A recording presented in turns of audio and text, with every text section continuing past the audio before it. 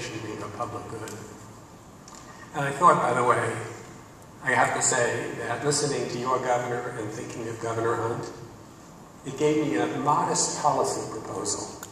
It shows you how important governors are. And as a Texan, I have the following view. That every state, of course, should elect a governor. But then before they sit in their office, they should be randomly assigned to a state to govern. and let me tell you, North Carolina would be the big loser. My state, on the other hand, right? This is being taped. so, the college readiness goal. Every child college and career ready. This is a tricky goal, and it's, but it's the right goal. What are the implications for our work together?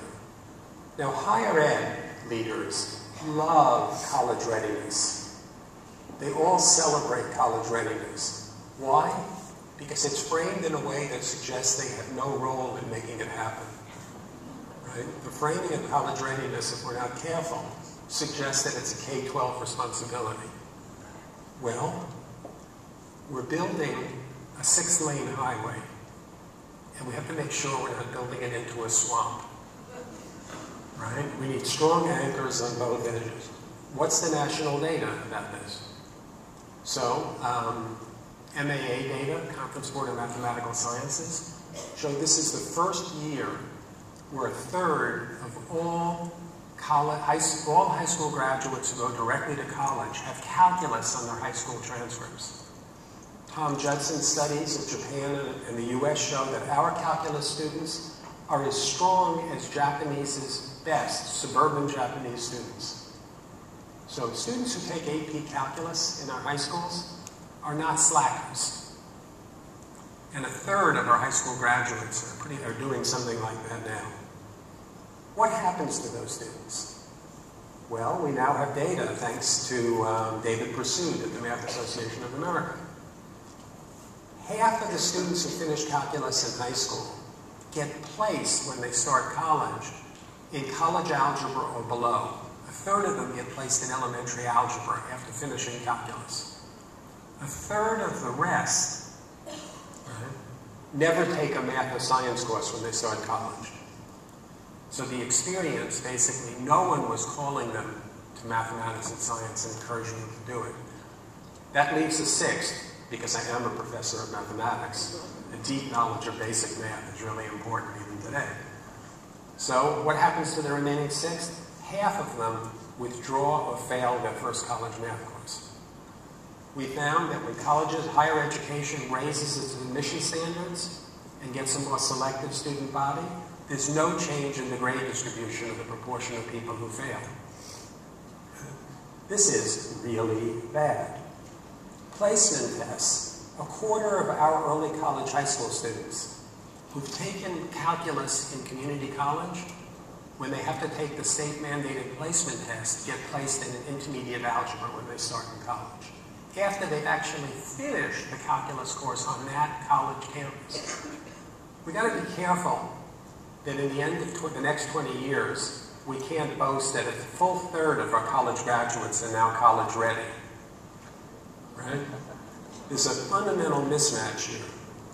What do we know about the students who are starting in elementary algebra or intermediate algebra because of college placement tests?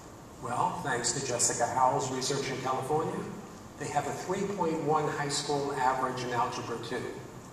So we have students getting Bs in high school, right, who are being forced to repeat courses. College people like to think that this is because of weak high school teaching. And all the evidence suggests that's false. The evidence suggests strongly that upper level high school teaching is much better than university teaching. And there's a lot more time devoted to it, except for me. so what's going on here? Well, we did an experiment in a, in a Massachusetts community college. We had a whole group of kids coming out of Boston, which is like Charlotte, an aggressively improving school district. And they were placed in elementary algebra, even though they had pre-calculus in high school. Some of them had calculus. So we have a three hour, we decided to bring the kids together for three hours and before the first day of class, gave them the final exam of the course they were entering. And you can see, we have film, have a film.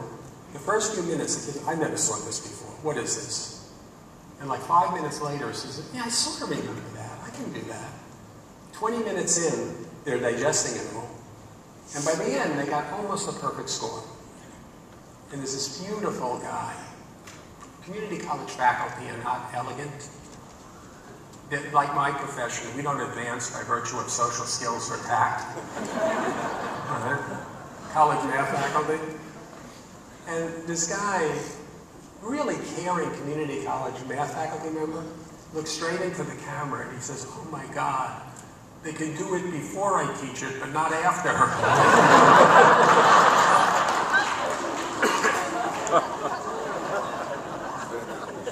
so this is what in Texas we call an Old Testament problem. Rivers of blood, locusts, right? Death of the firstborn. At every transition point, we have losing large numbers of students. 35,000 students in the fall semester in California community colleges were repeating a developmental and math course for the fifth or greater number of times. I was one of the mathematicians 30 years ago who called for algebra for all. Who he ended up with is algebra forever for these students. At the same time, students were repeating courses for the fifth time we ended up in a situation where we turned away 144,000 students for lack of space. So we need new accelerated pathways, and it's exciting to see Sharon Morrissey and Scott Ralls working so hard on cleaning up that developmental education pipeline. I think they're going to be among the nation's leaders in this work. So these problems are not problems that you can solve in K-12 or just in higher ed. They involve new kinds of collaborations that we should celebrate. Hidalgo, where I work pretty intensively. My students now are district leaders. 90% of their students complete a college course as they end high school. Right?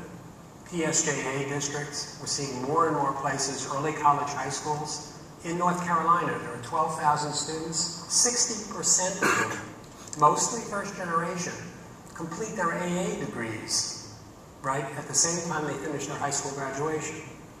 That shows you the capacity problem here is not the kids, right? The capacity problem is the systems we build to teach those kids.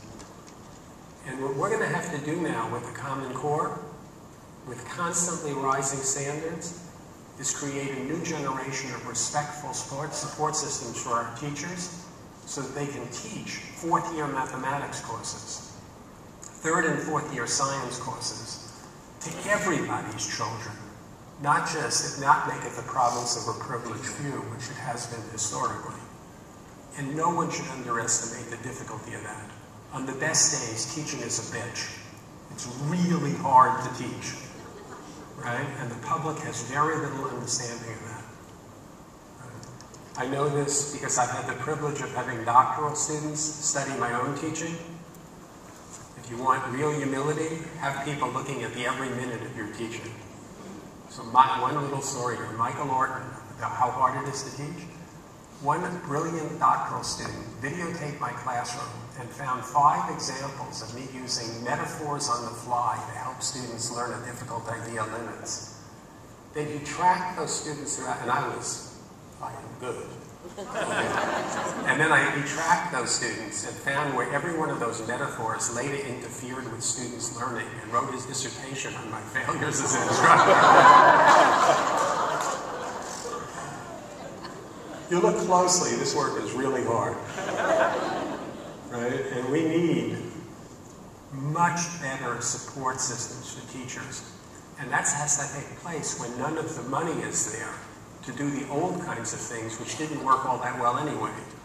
We need a new generation of supports for teachers, and they're going to need to be involved in building them.